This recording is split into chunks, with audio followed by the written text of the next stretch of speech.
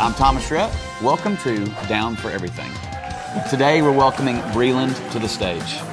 Answer a question at your own risk. Let's do it. Let's get started. What is your favorite viral YouTube video? That kid who was like, Charlie bit my finger. That video is just iconic.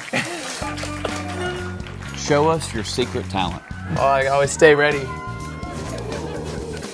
Make eye contact with y'all while I do it. Nice. What is your most embarrassing moment on stage?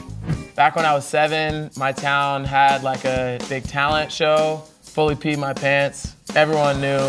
So now every time I get on stage, I have to like make sure that I don't do that. My track record's been pretty clean. Looks like you really are down for everything. Thanks so much, Thomas Rhett, for having me. I had a great time.